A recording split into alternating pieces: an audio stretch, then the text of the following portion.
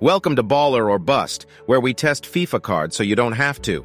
Team of the group stage, Harry Kane. We acquired him via SBC for 195,000 coins. If you need FC24 coins, check U7BUY, code ZADE for 6% off.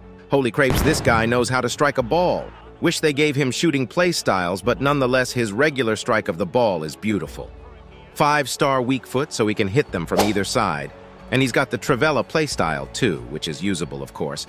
Use an engine or hawk, one makes him controlled lengthy, one makes him mostly lengthy. I mean, the way he plays is very Harry Kane-like, kind of like how Messi plays like Messi, Neymar plays like Neymar. Well, Kane actually plays like Kane. His attacking movement is top tier, but he also drops deep and likes to help the build-up or create a chance for others. His passing ability is actually really good with great stats, and with the incisive pass and long ball pass playstyles.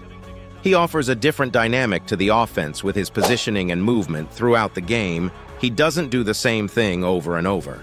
He's got the first touch plus play style, which is great on a striker, can receive the ball and do something very quickly with it. He's got great strength and aerial ability, just struggles a bit with the left stick dribbling. He's a big man striker.